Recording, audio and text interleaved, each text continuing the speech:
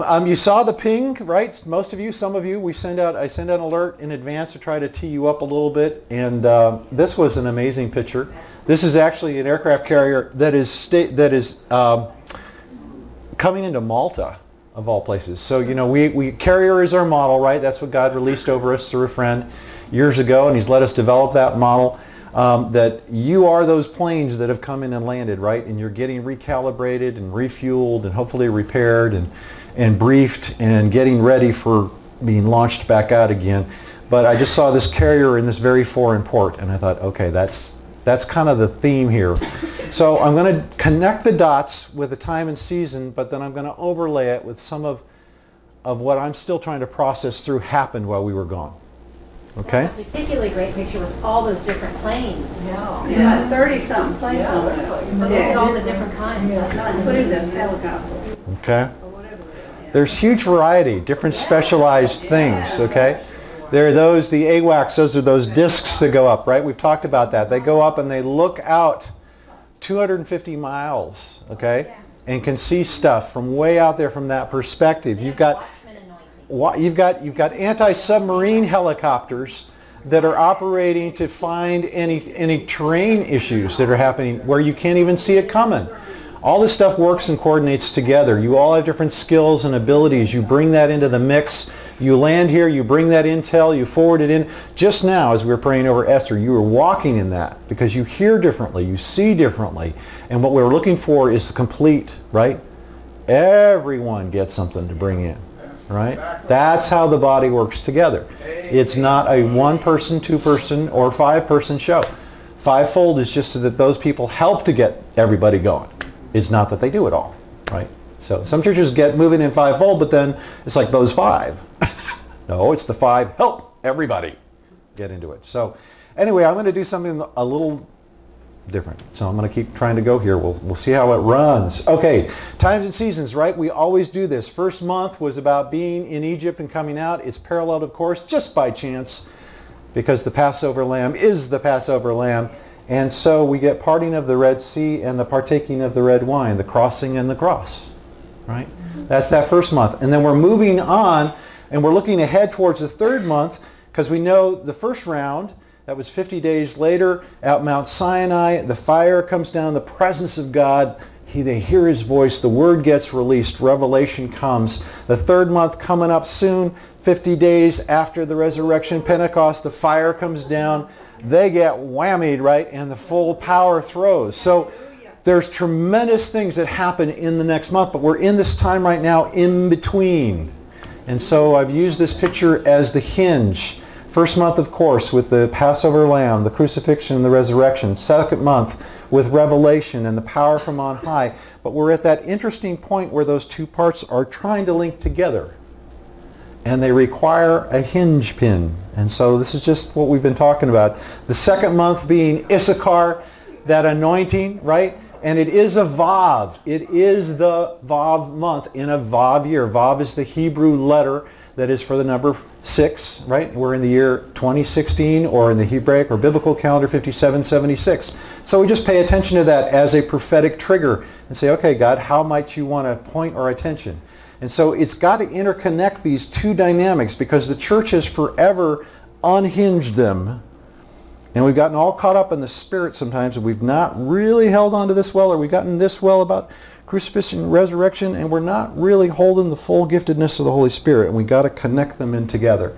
And that's part of what this time is. And it allows also, though, a movement. It's not a rigid coupling. It's a hinge pin. And so I love this picture, which I gave you a couple of years ago. I wanted to bring it back because Judah is aligned with that first month. Judah is the door into the tabernacle, right? It's that door. It's got that extra dalet.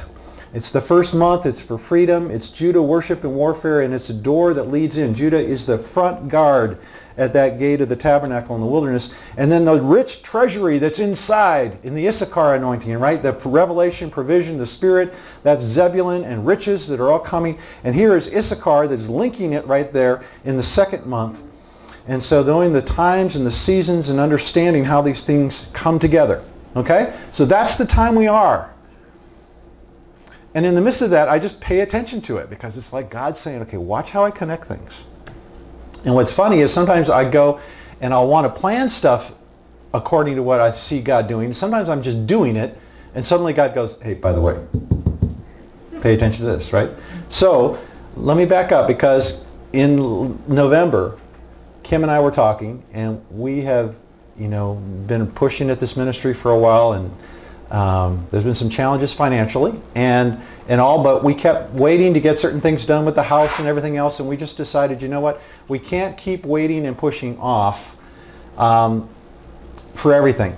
And so we made plans then to take Levi over to Europe because he'd never been and we wanted to expose him to that. We hadn't been in since our second wedding anniversary, I guess, when we were over. We lived over there for six months in a VW camper van and traveled around and did tremendous things for our marriage eventually. Um, no, actually, it, it, it really did because it connected us, right? You travel extended with somebody and actually live in country because we lived in various work camps um, with other volunteers around a project.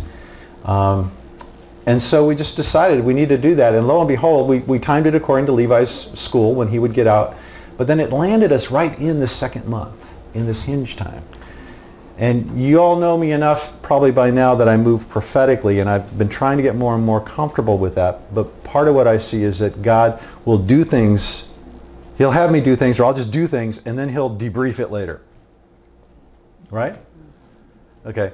And I'm coming to understand that. He had different people do buy a piece of land when it seemed like really stupid or something like that. And you do it. So that's kind of how it's going to connect in here. And uh, I hope it makes sense because this is different than I usually do. But Kim, and I was talking with her about this, she got the word triptych. That was part of the connect. Any of you do a triptych? I had, I could, I thought, I know that sounds familiar, but I can't remember what. Um, anyway, AAA does this thing called TripTik. You know, where you plan your trip, you tell them where you want to go, and they used to set out this whole, they used to be prior GPS. I don't know if you remember. They used to you actually print this little thing and you'd flip these pages. Okay, it was a triptych, and it was really cool. It was one of the advantages of being AAA. And so that kind of connects it into that, but I want to give you this verse. Psalm 84, 5. Blessed are those whose strength is in you. Sorry, I got over the side there. Whose hearts are set on pilgrimage. Amen. Blessed are those whose strength is in you, who set their heart on what? Pilgrimage. Pilgrimage. This is really, really critical. Is there a blessing for this? Yes. Yes. Okay. Because we had gone ahead and decided and set our hearts on pilgrimage. This is us in a bus in, in Rome. Yeah. Me trying to learn how to do selfies, which is is a new experience. It's like, okay, what am I doing, you know? Uh, you know, and and everywhere, you know, they're trying to sell you selfie sticks and stuff like this, and it's just like, nah, I, you know, I just got long arms. I got my own selfie stick. Thank you. But it's like, uh, okay, where is that? I mean, the people really know what they're doing there. And it's like, okay. And you just watch people everywhere doing that, and you're like, okay. We did not do many of those, which you are, we'll all be grateful for. But anyway, I was preparing the ping, going, okay, God, where are you doing this? Because what happened is we spent two weeks there. We lived in apartments, okay, that we, we found, God connected the dots. We stayed in apartments because I like to live outside of the main touristy kind of stuff. Because I want to connect with the land and kind of the culture, not just see the stuff. That, that I can only see so much stuff. That doesn't overwhelm me. And so um, that was part of it. But, but I've, I, and I, we just completely unplugged. Okay, I even had somebody, who was it? Somebody came up to me and said, do not pray for us while you're gone. Because they know I carry that on a regular basis. I don't, who was, who said that? You know, was that you? Yeah, Carol, don't pray for us while, we're, while you're gone. So it's like, okay, I try not to. But it's just like, you know, I mean, we just unplugged. Just kind of like, and you almost, you have to, You have to to survive. to survive. You can't speak the language and, I mean, everything is more complicated than it is here, so you have to. You have to be focused in the moment. You can't be somewhere else because it's all strange. So here are some points that we're going to try to get across. Are you an ugly tourist or a settled homebody? Because most people will go one or the other, and there's actually a third option. Number two, fear of loss is keeping most of us under house arrest. It's why many will never go if they go to another country. How many of you traveled in a foreign country? Right? All of you. Okay. How many of you went there on some sort of guided tour where somebody had responsibility and watched it? Okay. How many of you have gone and just kind of gone and, and, and do winging it? Okay. Okay. Which is more challenging? Okay. Okay. Yeah. because suddenly now you right everything goes outside of your control, and um, anyway, it's a little but a fear of loss will keep a lot of people from that. Like cruise ships, right? I do like being on a cruise ship. I like being able to travel, but only unpack once. But that's not really, you know, that's it's just you're staying very isolated. You always got your protected buffer, and you're not engaging in it. And that was not how we wanted to try to connect Levi to it. Googling God and why this will be the norm. Some of you not sure what that means. We'll try to get that, okay? Those of you traveled and winging it, do you know? The danger in where we seek God and why. There's a danger there. These are just things that God pressed on me. Only one mandatory question at each and every major transition. I'll tell you what that was and why. How we need saints and where we need them. Okay, these are just kind of like the tricky balance to honor your history, but don't be trapped by it. And then finally, God's warped sense of humor. He's playing with you. Okay? You got all these? Okay, now I'm going to try because the upside as a stranger in a foreign land. There is an upside to, under, to going into a foreign land. Now, Peter, an apostle of Jesus Christ, to God's elect sojourners scattered throughout the provinces. This is his word to you as elect. You're supposed to be a sojourner. You're supposed to be in a foreign land. It shifts how you operate. It changes how you live and work. And if we're not pressing into a foreign land all the time in some dimension in the spirit, we're probably being disobedient. Just telling you. Because of this, chosen according to the foreknowledge of God the Father to be obedient to Jesus Christ and sprinkled with his blood. We are called out to be different, right? And we've got a place and time where that's continuing to happen. So when you travel, it really gets magnified if you will actually live in the land rather than just sort of pop around. You have to pay attention to the now, where you are and what's happening, right? You could ignore some of that when you're here, right?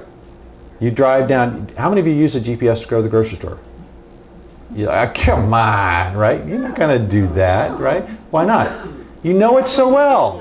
In fact, the problem is sometimes you get to the grocery store and you can't remember getting there, right?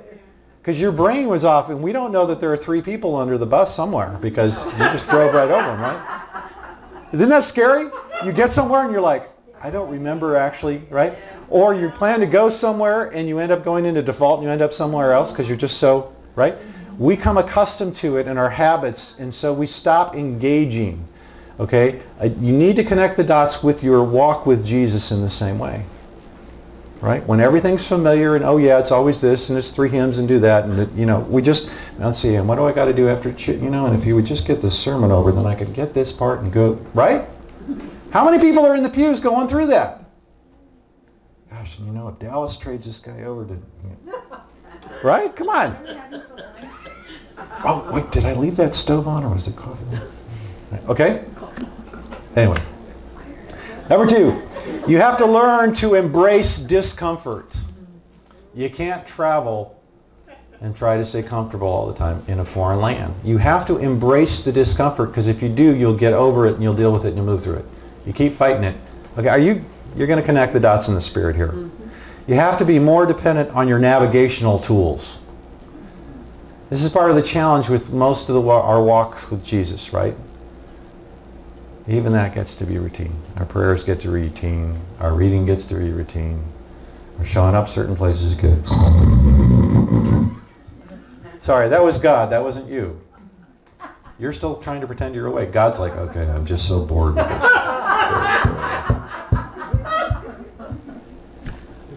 Okay, sorry. So, I don't know if you can see this very well or not, but see that circle? That is where our apartment was this is a Google Maps thing of Rome. There's Vatican City. Then you got these others, the, the Roman Forum, the Colosseum, the Pantheon, the Trevi Fountain, the Spanish Steps, kind of all the main things that you know, right? That's kind of the stuff. And part of the way that you use, how many of you use Google Maps at some point? Okay, good part of you, good. Okay, so it's, it's, how many of you have smartphones?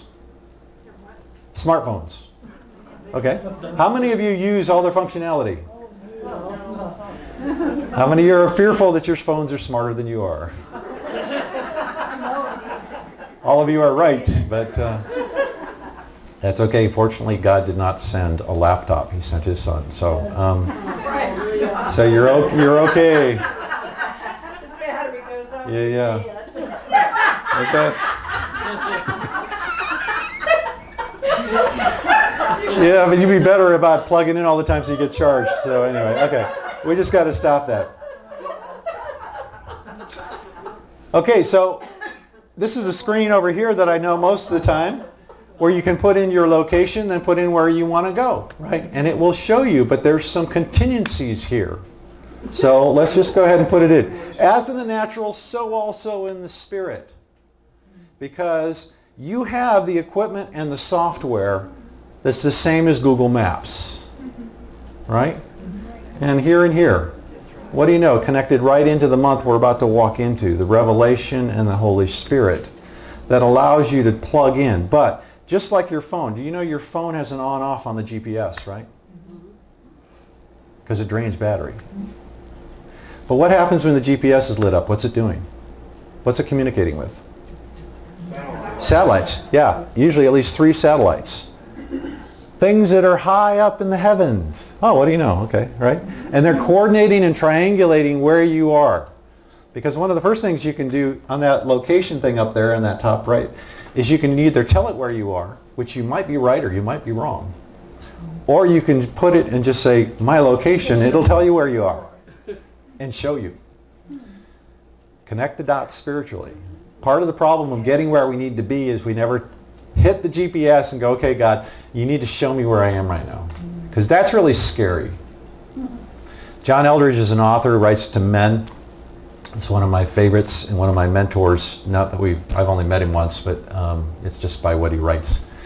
But he says one of the scariest questions that any man can ever ask his wife is, okay, so how are we doing? Most men would rather have a root canal than go down that open avenue. Okay? Do you understand? That, that's often the same. with- Do you ever do that with God? Okay, God, how are we doing? What's my location here? Ping. Right? Turn on the GPS. Get your location. So, you have to turn it on to get the location correct. Number two, when you travel, you need to know what your next goal is. Where am I going? Where do I want to be? Okay, now when we were at Rome, we figure out a location. We just, a lot of times just hit that location. Okay, let it find me because I'm really not sure. I'm a stranger in a strange land. Again, the danger spiritually is a lot of times, oh, but I know all this. One of the biggest dangers, today we're going to be preaching on Mark, da da da da. Oh, I know this. Eh, Probably not. Right? But that quick dismissal, oh no, I know where I am. Okay. So, we need to know though, what's the next goal? Where do you want to be by the Holy Spirit next month? What is the location? Like we knew we wanted to go to see uh, the Sistine Chapel, right? So we put that in. And the amazing thing is, is that when you do that, it will give you options. It will say by car, transit, or walking. And so then now you have a decision to make because each one of those involves different amounts of energy and different amount of monetary cost. Okay? So part of what we have to know is you have to decide what you're willing to give up to get to that location. God, I really want to move more in signs and wonders. Okay, and how are you going to get there? How are you going to walk there? Or are you going to pay someone else who can help take you part of the way? Either via a bus or in a taxi. Do you understand? I've just connected dots. Okay. These are all things because we're all over Rome trying to find our way around. A lot of times it's, okay, wait a minute. Levi's going, Dad, did you double check our location? Yeah, we're here. We're going this way. And we walk a few, and all of a sudden it's going this way. Oh, wait a minute. Okay, wait a minute. Let me turn around, right? Constantly pinging with that. When you're in a very foreign land, you stay very connected in, right? Mm-hmm. When you're in very foreign spiritual territory, you'll stay much more connected in. When you think, oh, I got this, it always works this way, right? Gail, Gail had to change some things that she'd been doing a certain way for years, and God said, nah, nah, nah, nah. Kudos to Gail for hearing that, right? Because again, I told you this line again. For most men, right? Give a boy a hammer and the whole world is a nail. we find something that works. Whack! Whack! Come on, right? Okay. We're the same way in the spirit. Hey, if that worked well last time and I prayed this way and that happened, can you imagine the poor disciples? Well, we found this blind guy, and we spit and made mud and put it in his eyes, and all he did is got ticked off at us. What happened to that? Oh, boy. Okay. Father, Father, Father. Right? I mean, just constantly they were, I mean, okay. Yeah. So, and you'll need to check your progress as you go. You tracking this? Making sense? This is just stuff that God was pressing on me as, as we were as we were over there. And I'm, I'm going to actually show you some of the things. But I want to show you this too. Be aware as you move into stuff that things can be surprising as you go. I made an arrangement to rent this apartment I found through TripAdvisor, a whole other story. But we pulled up, and can you see this picture on the left? Oh, no. I hadn't looked at that. That was the front. And I'm like, oh boy. Oh boy, okay. Lessons, sometimes how you expect things aren't going to be as they are. Sometimes you have to suspend judgment though because when you step through, you see that little green door right there? Uh-huh. Okay, that's a little private door. And when you step through that, well, then maybe eventually this will go. Oh, there it is, okay. You step into this. This is the apartment we rented. This is a little cottage that's back there. One bedroom kind of off this uh, half step to the right and one upstairs. And this top thing there was a balcony. And you can kind of see what the neighbor is. Okay? And so you, you kind of have to walk with, and this became our little refuge. And in the back there, you can see the garden. What was in the garden there, Kim? It was a whole wall of star jasmine across the back. We just took down a whole wall of star jasmine across our balcony right here. Oh. And there was a lemon tree in a pot, and we have a lemon tree in a pot. And there were all these sago palms on the side. We have all these sago. We're like, what's happening here? It was really something to walk out there. So in a foreign land, God was directing our steps and giving us a home base. And, and we rented this apartment for a week for probably a third of what it cost us to rent an up, you know, kind of upscale hotel somewhere downtown in the touristy garbage. And this was now we had to walk, but uh, we probably walked over 100 miles in the in the couple of weeks, I'm sure at least, because we walked a lot. Okay, are you just? I want you to understand in the spirit as you're moving into unknown turf, God will work it out. Don't freak out sometimes when you see the way it looks. Oh no! And you know we got there at midnight on that night, so it's dark and I'm seeing the graffiti. Oh my gosh. I'm like, uh, we get the wrong address. You know. Okay. So we sat up on that balcony and we would drink cappuccino that we learned how to make ourselves and we studied the book of Romans because we were in Rome. It was just so wonderful. Okay. But that is about as spiritual as we got. You see, oh. Hey, we slept. We ate pasta. You know, we ate a lot of not ice cream, a lot of gelato. Gail's word to us was eat lots of gelato. So we tried to submit. Okay, so let me just show you some of my pictures because you really have to go, right? Certain places and you'll just see some images. You know what this is, right? What is this? Vatican. Okay, the Vatican specifically? Where? St. Peter's. Okay. So this huge, huge cathedral in the back, right? There are saints all the way around there. There are 140 cast, or uh, chiseled saints around the top that you see there. Okay. Do you know where this was built? Yeah, this was built on Nero, Nero's circus, where often there were the reason they built it here was because of the number of believers who were martyred here. Mm-hmm. They weren't actually, they believed they weren't actually martyred in the Colosseum. There were very few that were martyred there. Most of them were martyred here. And that's why they set it here. And Peter is everywhere. When you go up here, there's a, there's a statue on the far side over there to Paul, and then Peter's over back here, behind this. So you go there, and it's impressive to see all around. You have all these pictures of the Vatican stuff, right? When people, when they're electing the new pope, and the pope's out there giving that stuff. And so this is where he would be, and specifically up there in the top of that balcony. So you're in the thick of that and you're just getting pressed in because there's years of history and culture and tradition and then you walk inside and it's it's huge and it's vast and it's crowded and there's a lot of gold. And it's oppressive. It is impressive. Oppressive. Oppressive. Okay? Because there's so much stuff going on. And people are having profound religious experience while we're there. We're standing there in the back watching. I'm taking some pictures and the guy comes and just lays down right on the marble. And lays himself out in a cross position and you know, turns himself left and right and kisses. And the other one was just standing there and crying. So people are encountering the Lord. But I'm just kind of distracted. There's a lot of stuff. But when you go and you look up, because everything is trying to draw your eye, you know, in this way, upwards, into the vaults, into the domes. And they're amazing. And they draw you, and the paintings are stunning. Okay? Kim, just tell them about when you were there and oops, I'm trying to go back. I've This- been, I've been wanting to go to the Vatican for forever. And I, when I walked through the door of St. Peter's, I was overcome by how dark and oppressive it was. Mm-hmm. I, I was like, it's like it was void of the Spirit of God.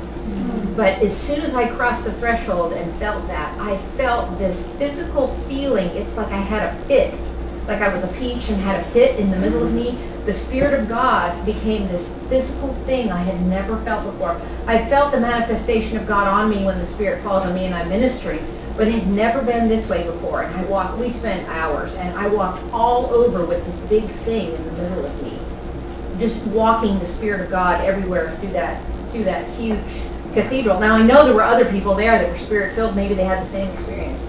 But Levi and I were talking about it afterwards and how it was very strange how God manifested himself that way that day to me. That it was just, I could feel myself walking the Spirit of God everywhere I went. It was not in that place. It was, some people find, find God there. I have no doubt about that. Many walk him through that door like we did. But it was dark and oppressive and heavy and ugly and I was shocked at that. Absolutely shocked at that. The best part was outside the door. Tell them about what's written outside the holy door. Yeah, as you walk into the door, there, there's, there's a special door that's opened only on certain years, and it's called the Holy Door.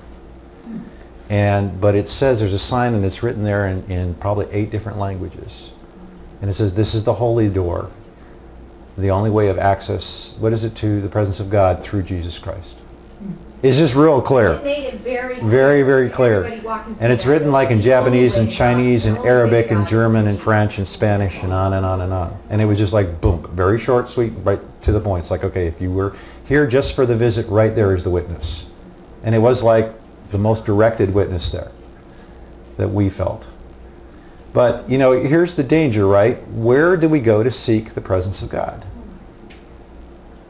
And how strong, how do we honor our traditions without being captured by them? And you really see it here in this place. But we have to be so aware of how anything that we walk in can become that. And there's always dangers involved in the way that we try to blend and over honor certain things. So out in the courtyard, here's Peter. I kind of actually like his, his statue. The one of Paul looks pretty ticked off and he's got a sword. But I like Peter because, you know, in some ways I identify more with Peter because open your mouth first and think second. You know, I just I just like his ability to, to get out there and do it. Passionate, often wrong, but never in doubt. I mean, he's a guy I I enjoy. Um, too often I'm like him, I think. And then in the middle of this courtyard also you have this obelisk. Okay? Now, let me show you something because I'm not showing you the whole picture because on top of this obelisk they've put this. This was the most profound thing in some ways I saw. We were listening to a little bit of a recorded tape and he talked about this small cross that was supposed to show the victory over the paganism. And yet I thought, oh Lord, but... and the commentator, this guy done the tape, who's not a believer, said, it just shows you how Christianity is really built on the foundation of all this paganism. It's just stuck on top. But you know what? Look at this. You know, it's going like, well, wait a minute. what is this even doing in the middle of St. Peter's Square? It's like the most prominent thing there. Okay? It's there and it's upright. I would be okay if it's there a lot that it was laying down and in pieces. Okay? Yeah, if it was leaning over. And this actually is a relic that was brought over.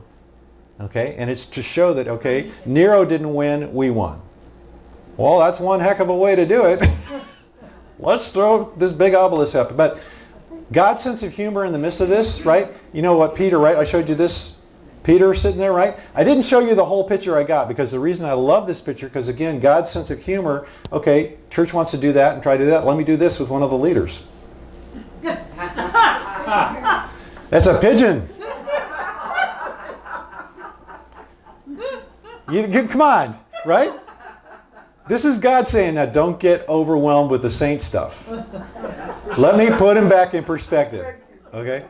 You understand? We walked out those huge, mass, those massive cathedral doors, and there's Peter with a pigeon on his head. You know? It's just like, okay. Thank you, Lord. The, the, the keys, the keys which represent the king, keys of the kingdom, right? That Jesus says, I'm going to give to the church. And we misunderstand sometimes Petros and Petra about Peter and his role is critical. It's built on the foundations of the apostles and the prophets, but the rock is about who Jesus is. And, but, oh well, okay, so, but they got some of the understanding of, of authority there. But I love this pigeon. It's just like, you know what? And that's God's creation. And he's just going like, okay, guys, don't take yourself too seriously. So, So both of them have a pigeon on both of them have, yeah, you know, I, I just kind of showing you how God's counterbalancing saying, okay, you're going to mess with this, let me mess with you a little bit. Okay? I just, Jehovah funny, you know, he's just there. Okay? So, and then you go to the Pantheon, which is thousands of years old, right? And you go inside and it's the largest, it's one of the largest domes ever made. Do you know that opening is completely open to sky? You know how wide it is across there? 35 feet. That opening is wider than this room and then some. Okay?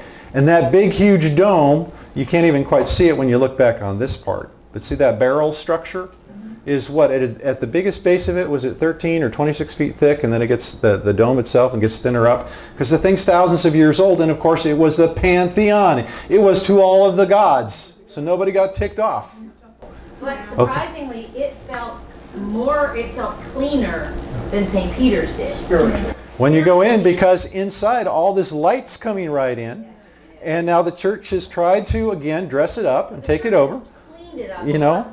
Spiritually cleaned it up. and, and done stuff but then you got a, a dead pope buried over here.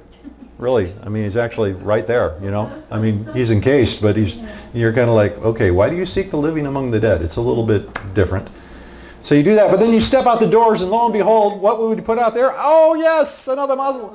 Okay another one and of course let's put on the star on top there it goes okay that is actually there i just was hiding it for a second They were all over the place. they were all over, okay? It's like, you know what? These things need to be down on their sides and broken up so that we understand the victory. Go ahead, David.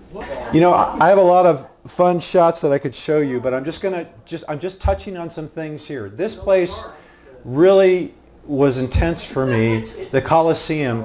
Do you realize that um, this was so popular that there they had sports promotion you could buy, they found goblets with the names of famous gladiators on them.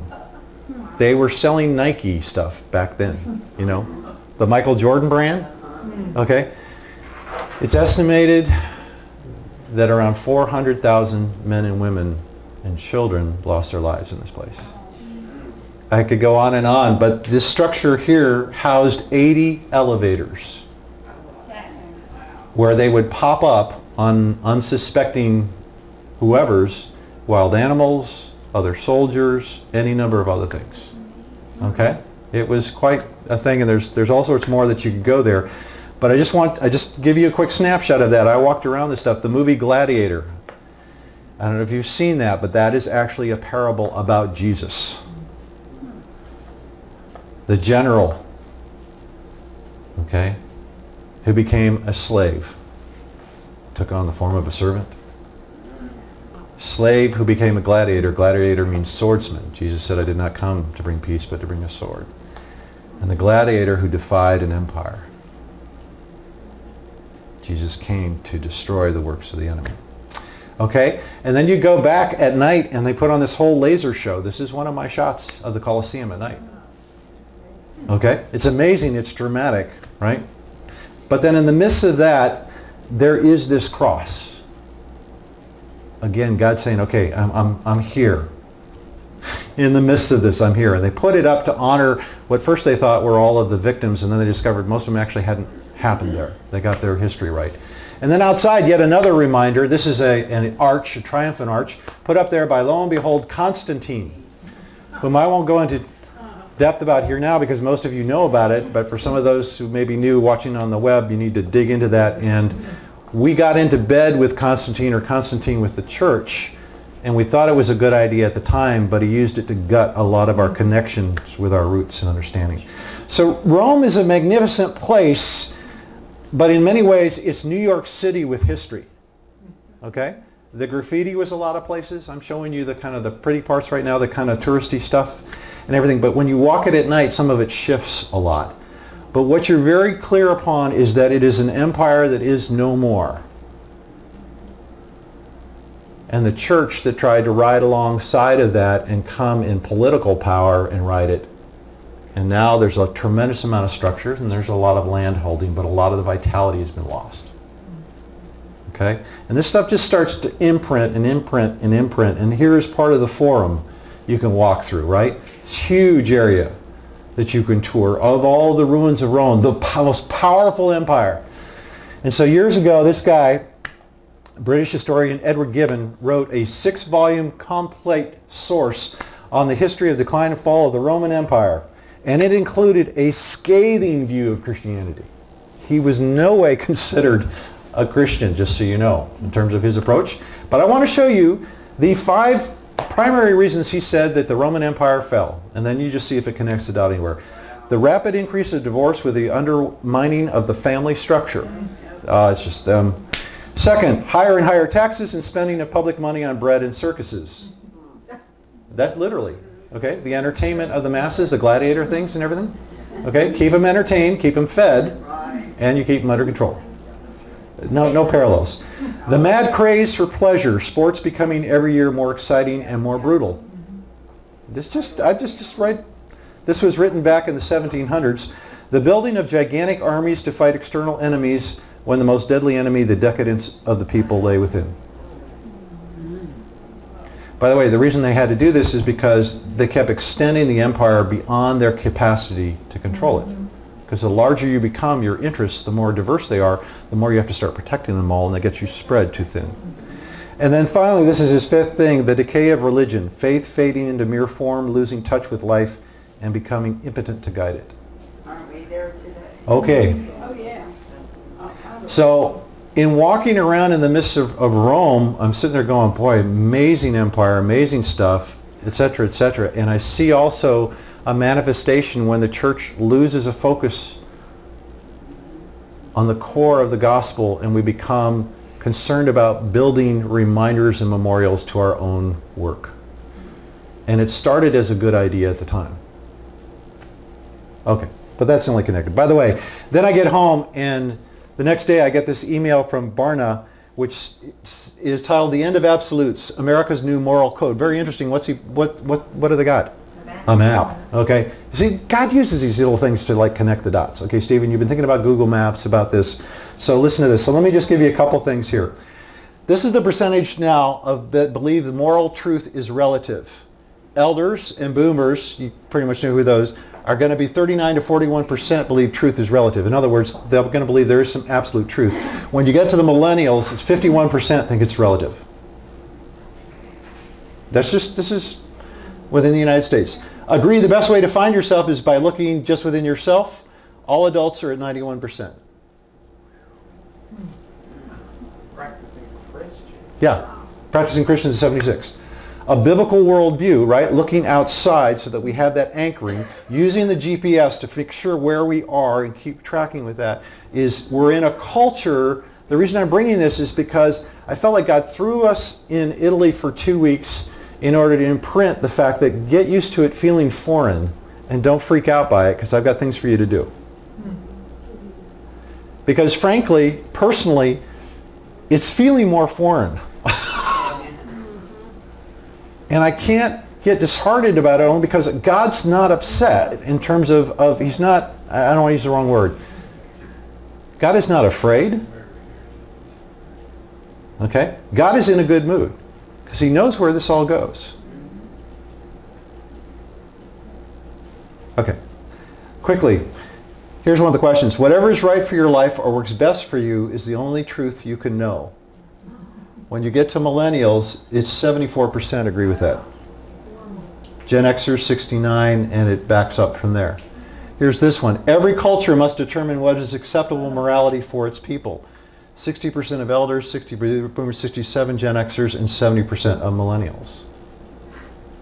The, the loss of a biblical worldview. Right? Now you have to be reasonable in how is it applied, right? You cannot be legalistic, but the principles there in terms of valuing and honoring of life, of people, of relationships, etc. is all there.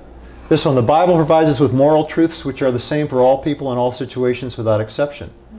And you can see that agree strongly or somewhat when you get to millennials, you're only at like 29 and 27 percent. So you do get up to 54 total moral truths which are the same for all people without exception.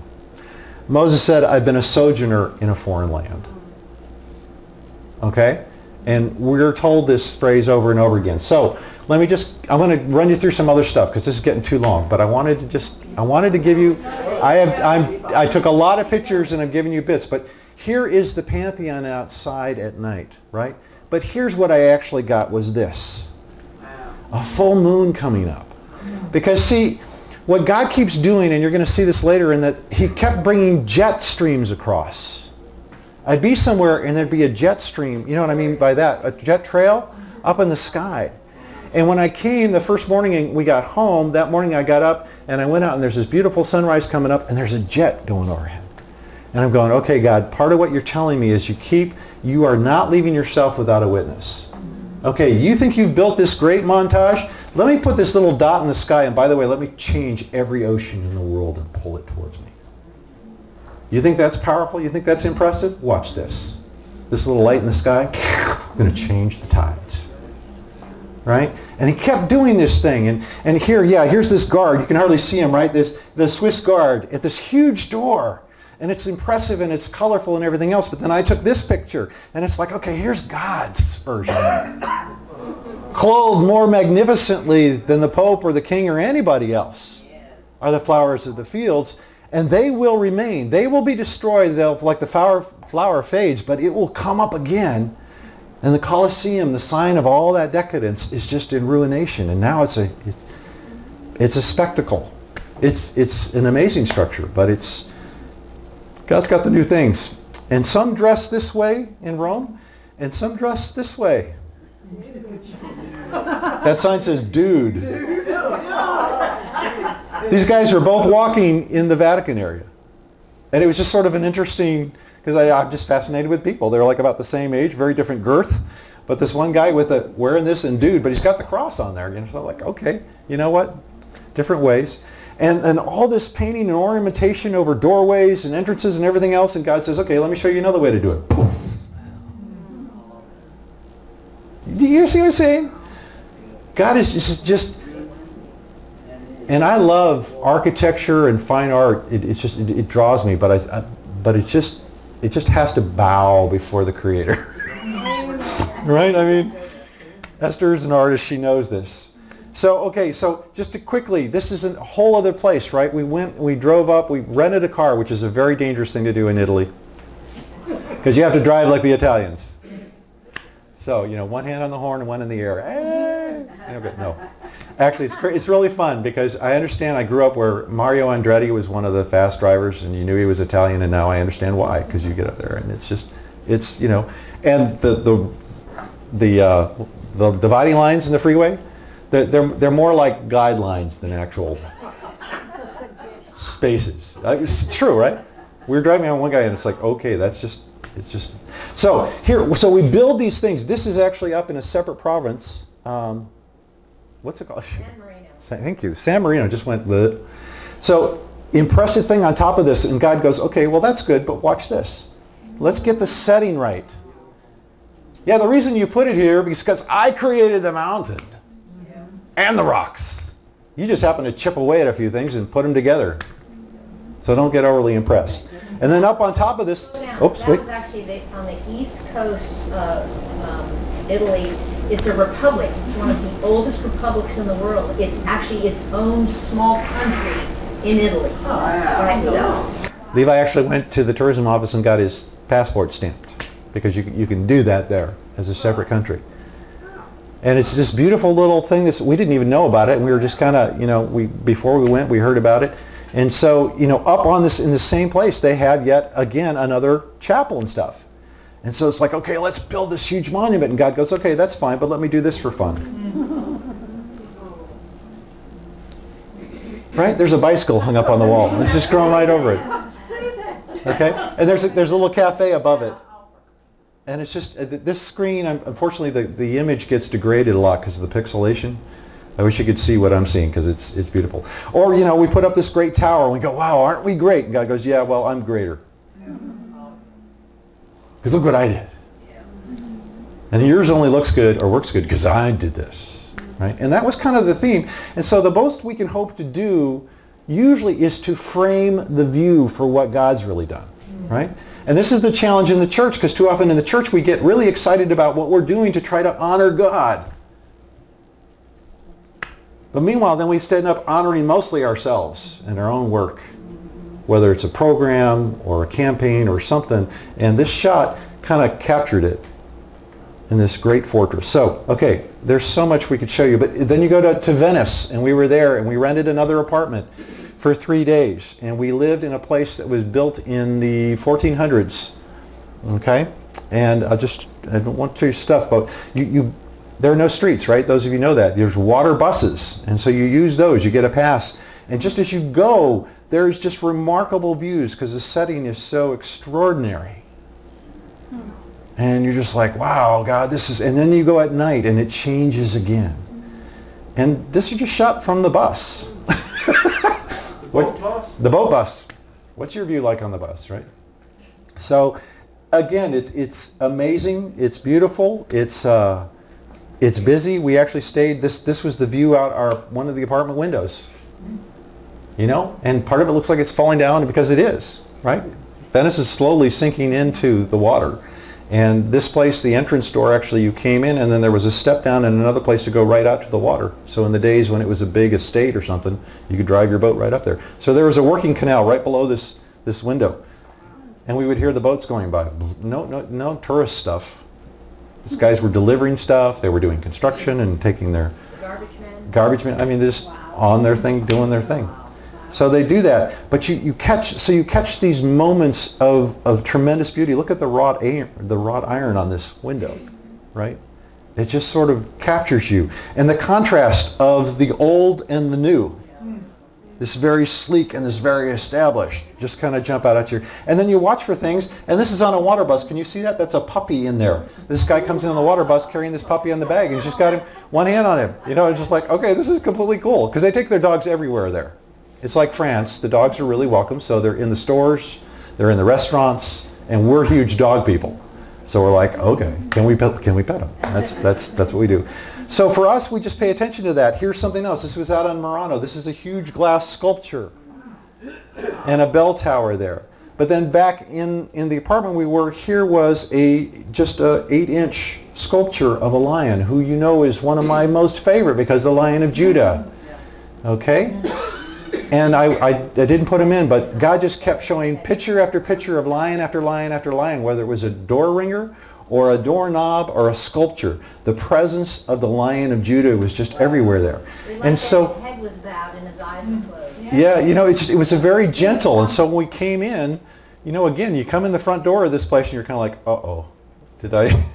I won't show you right now. It comes off this little bridge right there and it's like, okay, is this going to be okay? And it was great. And then again, I love this because this is God saying, okay, you're impressed with all your stuff. Let me show you this. Because I'm going to refresh this again. And greater beauty. And then this is in one of our windows, the succulents and the wrought iron. And there's, there's the, uh, one of the canals down in the back there.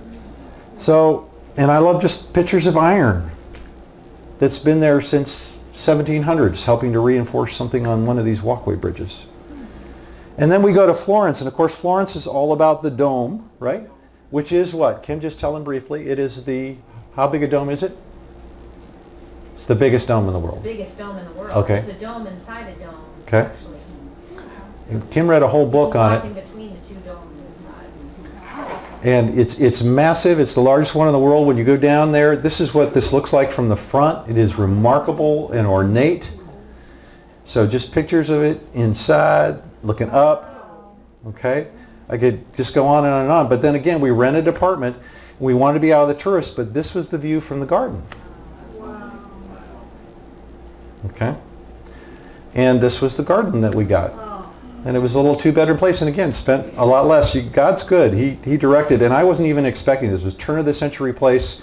Had all these great doors and, and in it and everything. But you, you look at the dome. And by the way, just to get an idea, can you see what looks like little ants at the very top? Those are people.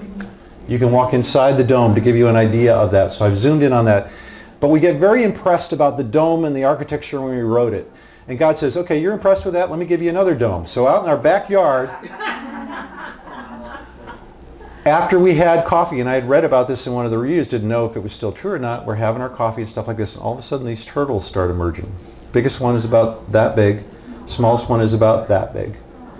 And they start showing up. And there's five of them.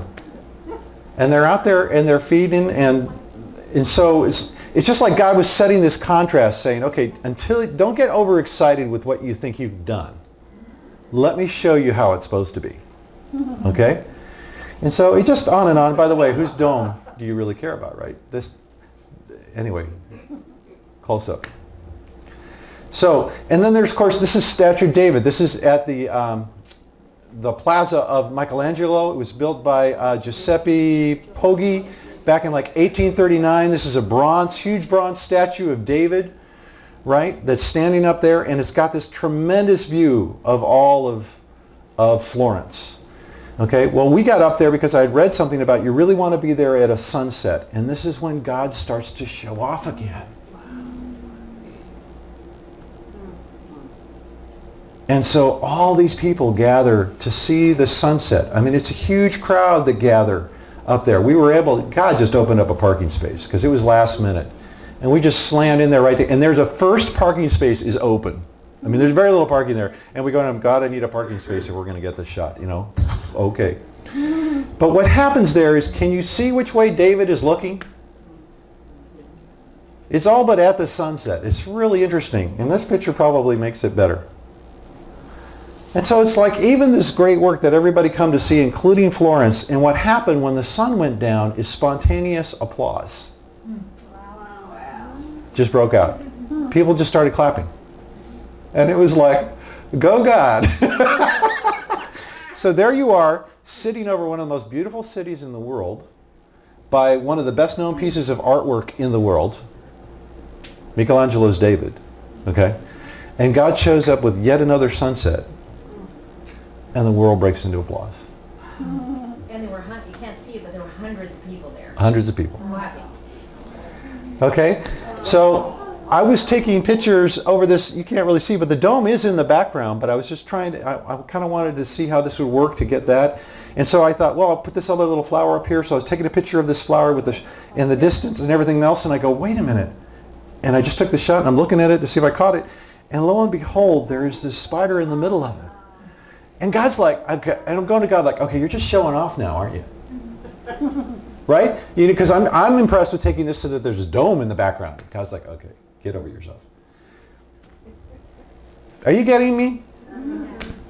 I have a gazillion shots of different angles and stuff because it's just, it's very compelling. And then we end up with a stopover in Copenhagen, so we take the train over to Sweden to Malmo. I have birth roots at Malmo. My father's family um, immigrated from Sweden to Canada and then eventually Canada the U.S. My, my dad was the only brother of the brothers and sisters born in the U.S. The rest were born in Canada because Canada was giving a thousand acres free to anyone who would homestead it. And that's why they immigrated.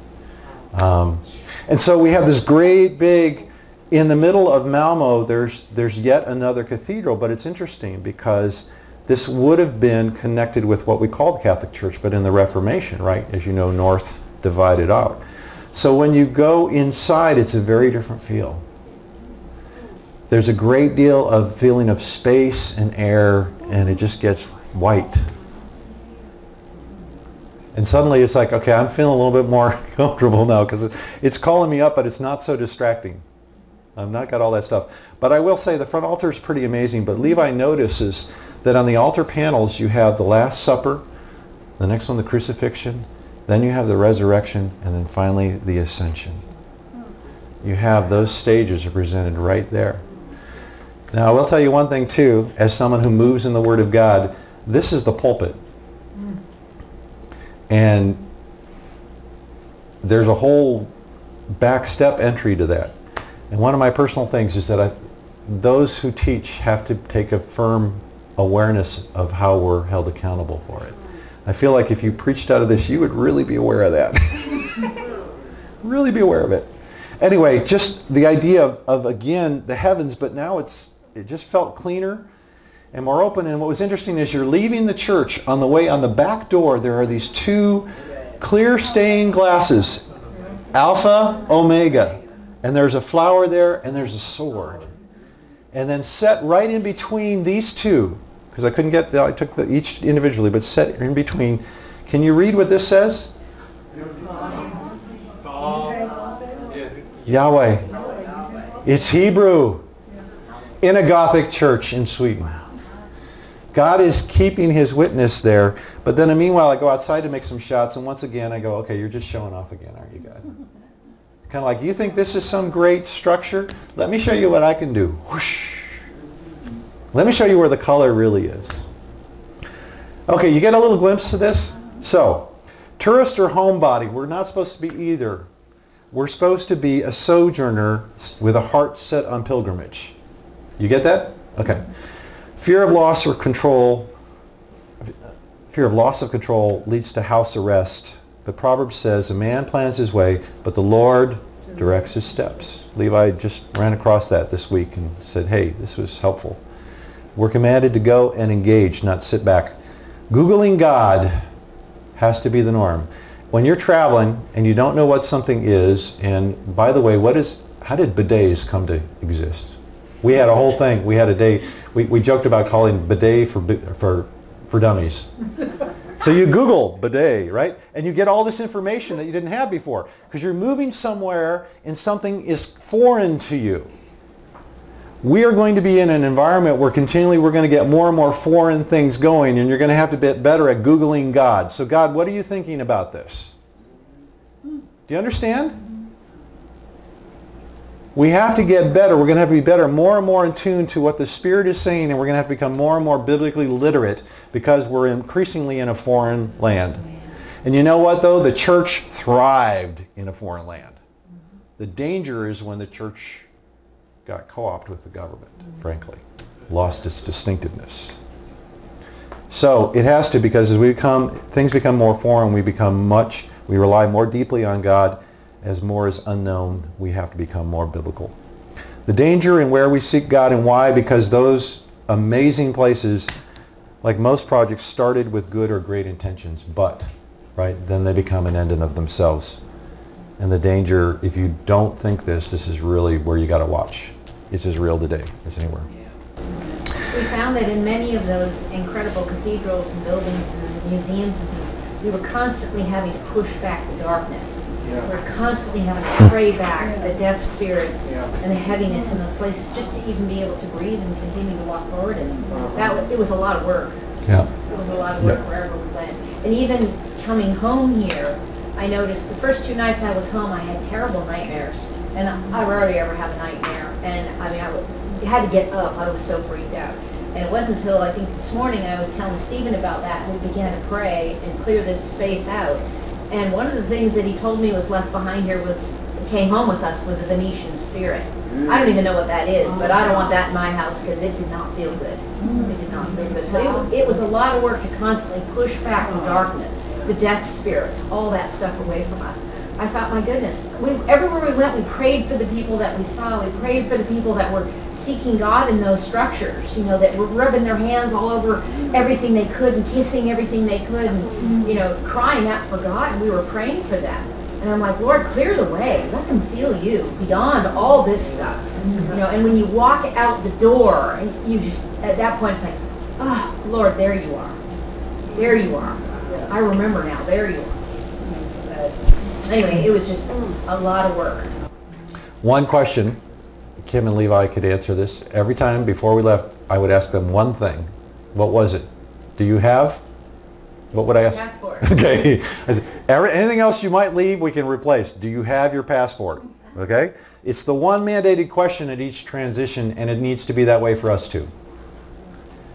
What does your passport establish? What does it say? Access. It declares who you are and to whom you belong. Do you have your passport? Right? As a believer, that's going to be increasingly important at every transition. Do you have your passport, right? Into the portal to get past. Covered by the blood, I'm there. I know that just sort of, it's our identity, it's our first alignment, our first citizenship. Right? We need to be honorable citizens of this nation, but first and foremost of the kingdom of God. It's the only way we can be honorable to the nation. Otherwise, we won't help it. We'll only hurt it. How we need saints. We need those saints, but the problem is that the saints so often that we saw had been elevated up to now where they're intermediaries between that person and God. Does the church do it today? The Protestant church. How does it do it today? The I'm sorry? the, the laity and the, The laity and the priesthood, or, you know, well, my pastor said, well, this apostle or this, you know what, you got to be very, very cautious in that. We need them. They're great examples, but they're bad intermediary, intermediaries, and they're dangerous to have anyone as an idol. Okay, still goes on. Balance to honor your history, but don't be trapped by it. You got that, right? yeah. Mm-hmm. The danger of, of how that works. Behold, I do a new thing, and I do it new each and every morning. God's warped sense of humor. He's playing with you. Okay? He does this so we won't take ourselves so seriously. So let me just loop back on a, on a couple examples. One, of course, was Peter. Two was going through this, this gallery that was quite expensive in Florence and not really seen. And then suddenly we came around the corner, and this is the portrait of Doubting Thomas. was the best thing in the whole gallery. But but he- but here he is. You know, if you've seen this portrait before, I've shown it actually. But there we were with it. But you know, it's actually kind of a funny thing because think about the story. Jesus is going, "Okay, Thomas, stick your hand in here." Uh, what? I don't think so, right? It's just, it, you kind of have to get the humor. And while we're waiting in line at this gallery, I look up and there's all these wonderful busts and a lot of them have halos, you know, behind the, the thing, relief. But then I look up and I go, oh my goodness, he's wearing Mickey Mouse ears. It's kind of like the lion in the Wizard of Oz. Yeah. That's what he looks like. But you know, this is what, okay? Do you see this humor of God? Do you see the parallel here and here? Okay? Unless you guys get too hauled up about all your holiness, whether you're Peter or some other, I don't know who this other person was up in the bust, but he clearly deserved a halo, but it's, God's just like having fun. And it just happened to be where we were standing that it looked like Mickey Mouse ears. Okay, have you got it? A little bit of that. So what's happening is God's continuing to press experiences that I walk through there and, and show me in the spirit what he's saying. Sojourners. Google Maps. Only it's going to be God, Goddle Maps or something. I don't know. Work with me here. Okay? It's going to be about remembering the foreignness. Don't be alarmed by that understand it is there are sanctuary places that God will have for us as you move forward. Okay? Where he will remind you of what's important. Like turtle shells in the place of domes. Okay? And flowers in the places of colosseums. Okay? All this stuff that he will do to remind. And I wanted to show you that too because so many people want to go and see all these wonderful things. And meanwhile, God is sitting there going, well, I know that's impressive, but this is even more so. And some of the most impressive shots I got, I think, were of flowers and of stalks of things and iron and, you know, that's where it's like, okay, wow. But it takes me slowing down because I'm in a foreign land to actually notice that stuff because I'm blowing by it all day long here. It's not like they got more pretty flowers in Italy. Give me a break. We had almost the same exact setup there that we have here. So God is just saying, I'm here, I'm present, I'm with you in this journey. Take heart. Father, we just, we take this word now. I hope something of you was in this. Lord, let each take the word you had for them to be encouraged and challenged. Lord, we are not to be ugly tourists. We're not to be stuck at home. We're to be out and about. This group is aligned in you by your word, by the Spirit. They've been briefed. They know that the world is changing, but they are change agents. They're not to hide and wait. They're to be present. They're to be looking for your sense of humor in the midst of things so they don't take themselves too seriously and they watch for your creative hand. Father, I thank you for the spontaneous applause that broke out over just another sunset for you. I thank you for the moon that you stuck over the Pantheon to say, you think that's power, watch this. Lord, thank you that you are Jehovah Sneaky. Thank you that you are at work in all of us for a manifest destiny that we have still yet to see. Thank you that your word is alive and active. And we seal this up now in Jesus' name. Amen.